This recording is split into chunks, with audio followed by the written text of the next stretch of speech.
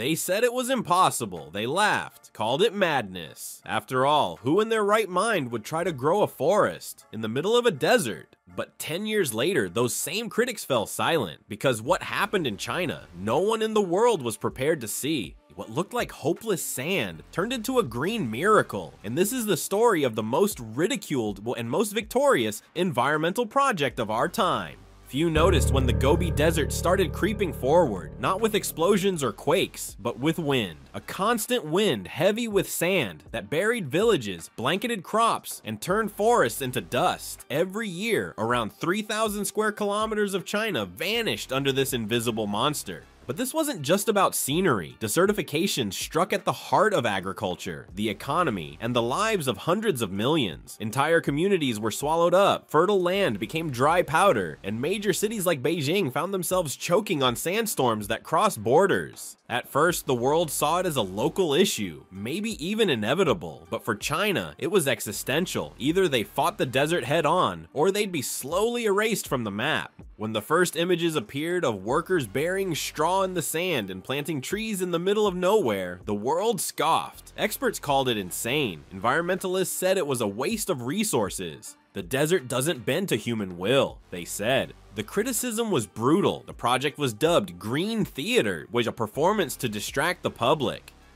Burying money in the sand became an international punchline, printed in newspapers and repeated by commentators as a symbol of absurdity. No one believed a forest could grow where even grass refused to. But while the world pointed fingers, the Chinese kept going, quietly. No applause, no glowing headlines, just grit, sweat, and an idea that seemed too crazy to ignore. Desertification stopped being an environmental concern and became a national threat. In places like Xinjiang and Inner Mongolia, millions saw their crops fail, wells run dry, and homes abandoned to the marching sands. In 2006 alone, 17 sandstorms struck the country, some so intense that particles traveled across oceans, reaching the west coast of the United States. This wasn't just China's problem anymore. It was a global wake-up call. For the Chinese government, this was a survival test. Economic growth meant nothing if the land itself was disappearing. Something had to be done, and fast. Back in 1978, amid chaos, China announced the unthinkable, a wall not made of stone but of trees. Dubbed the Great Green Wall, the plan was simple on paper and monumental in practice. A forest belt over 2,800 miles long to halt the desert's advance. But it wasn't just a reforestation campaign, it was a national movement in schools, soldiers, farmers, and scientists working together, a decades-long effort projected to continue until 2050.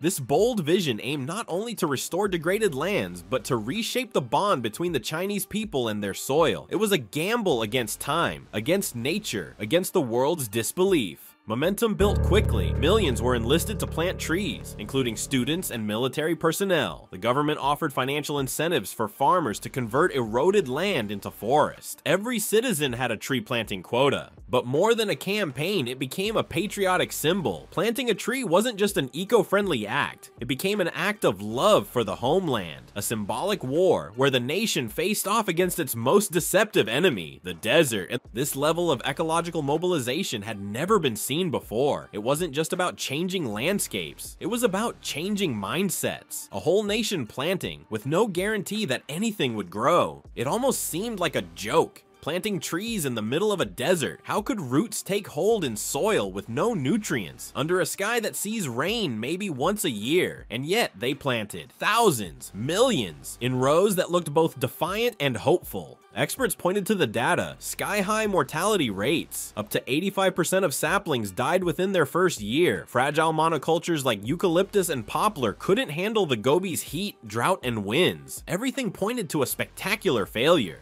But there was something deeper behind the stubbornness, a quest for environmental redemption, for control over the land. It was a gesture of faith, not religious, but national. And while most of the trees died, the few that survived were proof that maybe, just maybe, it wasn't entirely crazy. The early years were brutal. Images of dead forests were everywhere. Fields of bare trunks. Not a leaf in sight. Dust coating everything. It was as if the desert was mocking humanity's attempt to stop it. Sandstorms wiped out months of work in a single afternoon. Irrigation paths vanished under dunes within hours. Where there was hope, silence remained. The critics grew louder, and even within China, environmental dissent started to rise. Failure seemed inevitable, the kind of project future textbooks would use as a cautionary tale, and still they pressed on, with more caution, with more science, but with the same unshakable belief the desert would not win. In China, when the government says everyone will plant trees, it's not a metaphor. Students had planting quotas, military units became green battalions, entire cities grabbed shovels and headed to the dunes. Yes, it was forced at first, but it became collective. Over time, people began to feel pride. Planting turned into tradition. In 1981, China established National Tree Planting Day, celebrated every March 12th.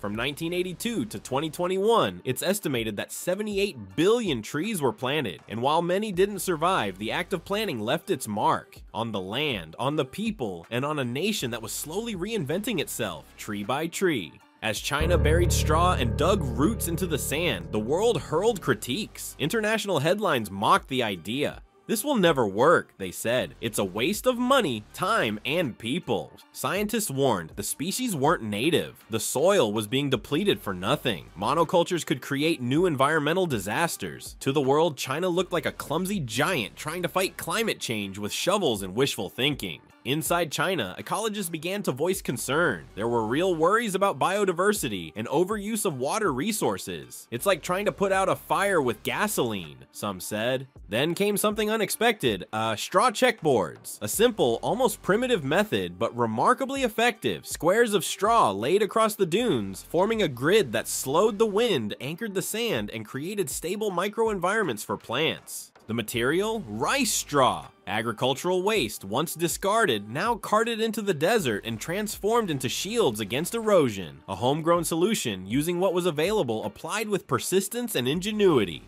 These grids cut wind speed by up to 99.5% in the worst hit areas. Over time, the dunes stopped shifting, and that gave life, quite literally, a chance to take root. For the first time, the desert wasn't advancing, it was being held back. The early hope was buried, along with millions of dead trees. What once looked like a green carpet turned into a brown graveyard. Mortality rates hit 85% in some areas. Scientific criticism surged. Many pointed to the strategic error of monoculture. Planting the same species in fragile terrain under extreme climate was a recipe for disaster. Experts demanded urgent changes, warning that even the existing biodiversity was at risk the Chinese government faced a dilemma, continue a project that had already consumed massive resources, or admit failure and pull back. The answer surprised everyone, don't quit, transform. The desert, like a cunning enemy, struck back. Stronger sandstorms buried months of effort in hours. Irrigation systems disappeared. Roads were blocked. People displaced once again. Climate conditions tested every step forward. Areas that barely saw 10 millimeters of rain a year now faced even harsher droughts. The soil, loose and depleted, couldn't hold water, even when it was delivered by truck. It was the darkest moment in the entire endeavor. Critics seemed vindicated. The land was merciless. But China didn't retreat. Instead, it investigated, adapted, and reinvented its strategy.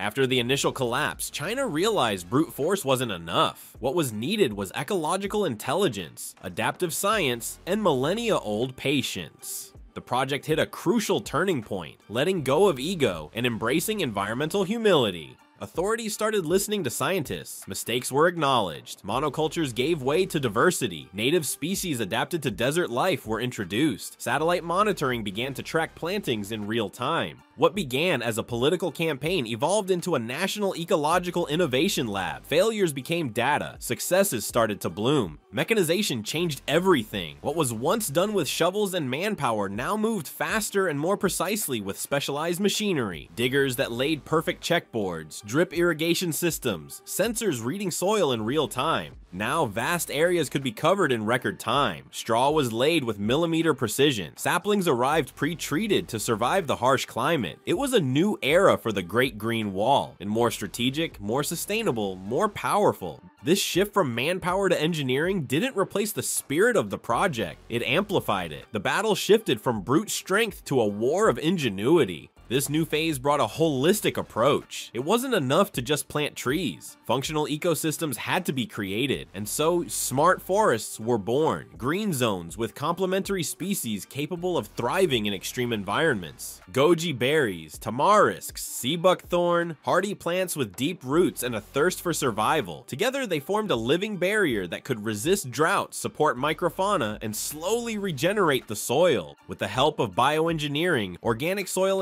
enhancers, and microorganisms, what once looked like lifeless desert began to turn fertile. It wasn't magic, it was science, adapted to the climate, the land, and the dream of making the impossible bloom. When a railway was proposed through the Taklamakan Desert, engineers laughed. Too much sand, too much wind, too much risk. But China answered with a bold idea. Protect the tracks with living vegetation. Straw belts, tough grasses, native shrubs, and small trees were aligned as a natural shield. Not only was the railway built, but it's withstood decades of storms. The same method was applied to roads, and even a high-speed highway through the desert. This synergy between engineering and ecology created a new kind of infrastructure, one that didn't just cut through nature, but coexisted with it. It was a victory not just of technique, but of philosophy. The impossible started showing up in satellite images. Green patches where once there was only sand, lines of vegetation spreading like healing scars across China's wounded land. The desert was finally retreating. Between 2016 and 2020, over 21 million acres were converted into green zones. Cities once choked by dust could now see blue skies. Winds that once carried destruction began to lose their power.